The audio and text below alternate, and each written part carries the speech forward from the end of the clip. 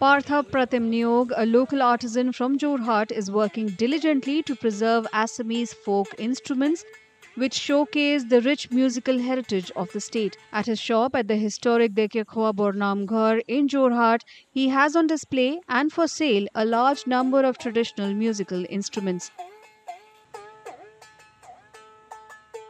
One of them is a 12 feet long flute made of bamboo.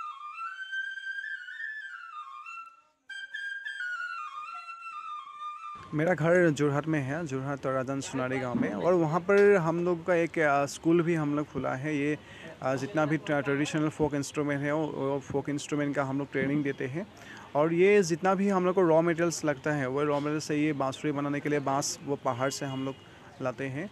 और ये सिंग जहाँ पर मिलता है, वो नदी से किनारे वहाँ पर भी मिलता है।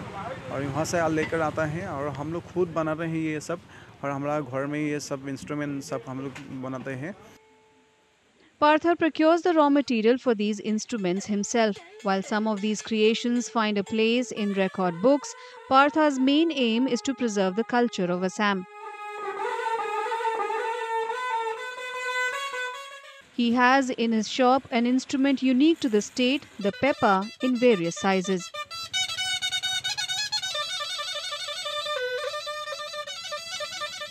वो तो असम का असम का लार्जेस्ट पेपा है। वो 15 फुट उसका दैर्घ्य है। और हम लोग ये इसलिए बना है, हम लोग का जी जो न्यू जनरेशन है, वो न्यू जनरेशन को आकर्षण करने के लिए वो पेपा हम लोग बनाए हैं। और ये वर्ल्ड का वर्ल्ड रिकॉर्ड भी हो चुका है। वो फिफ्टीन फुट का है। और बाँस का ये वो जूरिया पेपा बोलते हैं। जो दोनों एक साथ लगते हैं, वो जूरिया पेपा बोलते हैं।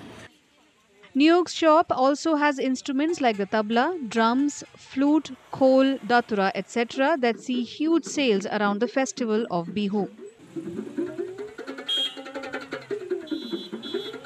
He is on a mission to introduce the forgotten folk instruments of Assam to people of the state. हम लोग से ये सब खुद बनाए हैं और हम लोगों का जितना भी जातीय उत्सव हमारा बिहू है ना बिहू का जितना भी इंस्ट्रूमेंट है सभी इंस्ट्रूमेंट यहाँ पर मिलेगा। क्या मिलेगा?